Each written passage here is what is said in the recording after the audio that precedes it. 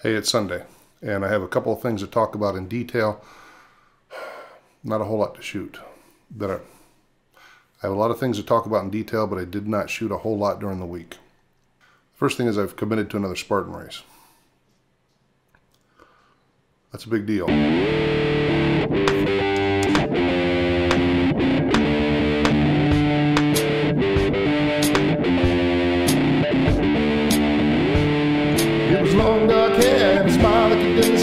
I got sick for the first part of the week. So I mean, I was ill, down hard, missed the first day of work last week. It was pretty brutal. Um, as you saw last week, I was sick. I mean, I just it carried on. I'm just now starting to feel where I'm recovered. From where I'm at, I think looking at a realistic training schedule, uh, it's probably going to be September before I'm ready to run a Spartan race. This puts me in a bit of a dilemma because the Indiana Spartan race is in either June or July, which is too soon. I won't be able to run it, or I won't be ready to run it, uh, which means I'll probably have to go to Pittsburgh in October. There's one that's possible to run in Nashville. That's not too terribly far away, but still, I don't know. We'll see. Uh, we'll see how it all breaks out. Now to do this, I realized I don't have, I have 168 hours in the week just like everyone else. So I have to do something to make sure I'm doing what I need to do. So I've made myself a schedule. It has 168 slots. And what I did is I set up a typical week of everything.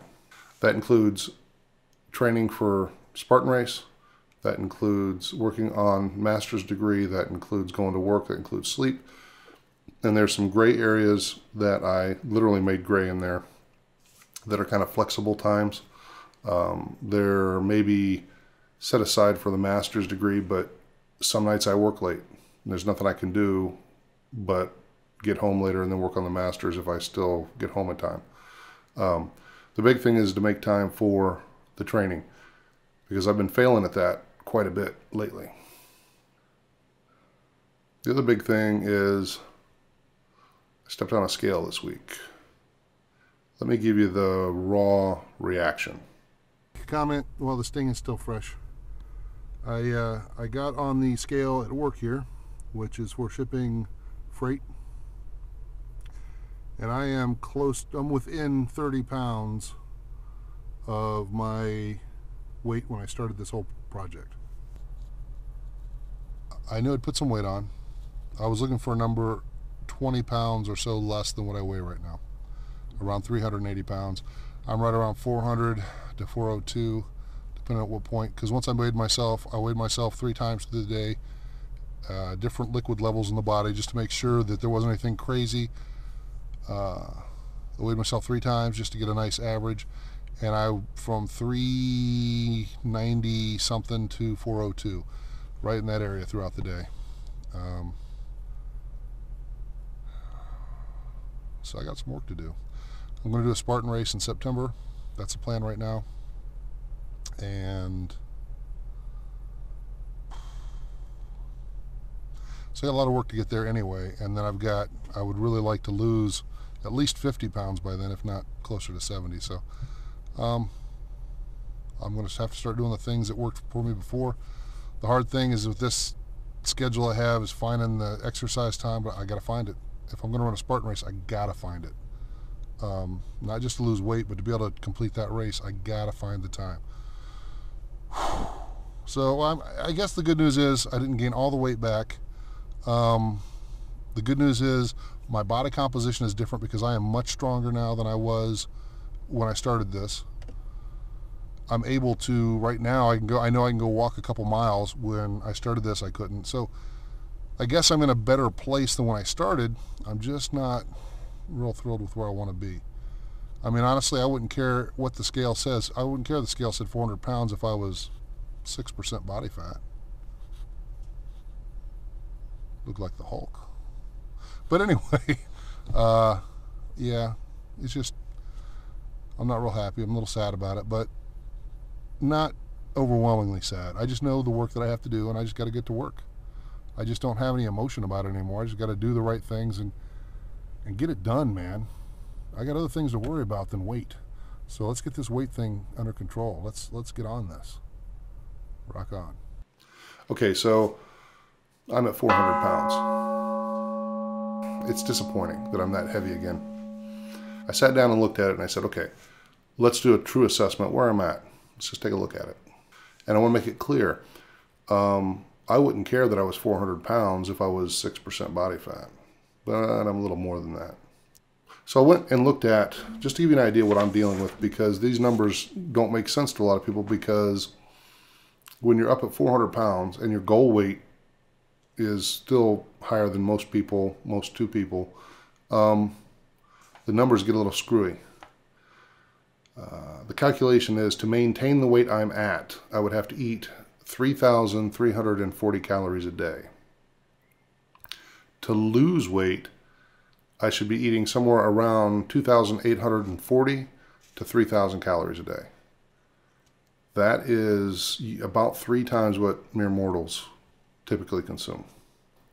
But then also you look on those charts and you look on, and I've done a lot of research, and the best I can come up with is once you get to a certain point, the body mass index fails because what it says is my heaviest weight should be 200 pounds. Anybody that knew me in high school uh, saw me my senior year where I was only 6'1. No, I was only six foot. So, I mean, I was like three or four inches shorter than I am now.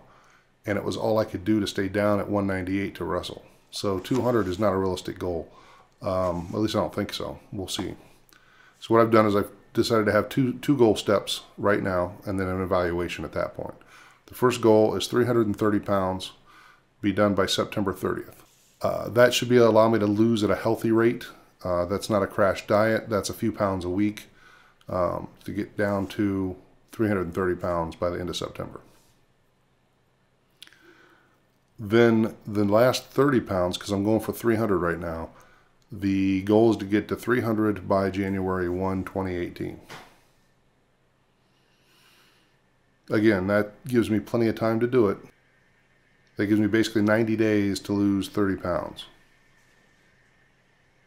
which is still a couple pounds a week. That one will probably be harder. By the time I hit 330, I will have lost 70 pounds. All right, and that means that uh, my body will be adjusting to that, and I'm that 300 goal may end up being a little uh, by January 1st may end up being a little bit um, a little bit amb ambitious. Uh, once you've lost roughly 25% of your body weight, 20 to 25%, uh, your body does a few things that it fights more loss. It thinks something's wrong. That's the other thing I want to talk about. Um, I'm not using it as an excuse, but I want to make sure that everybody understands. Genetics count for a lot. If you look at the males on my dad's side, going back several generations, we all are built the same. It's easy for us to get fat. It's easy for us to carry a lot of weight in the chest and belly I know we're not the only people like that, but it's real easy for us. So I am fighting some genetics, but that's not an excuse. It just means that I have to work harder and I have to make sure that I'm adjusting and doing things that make sense.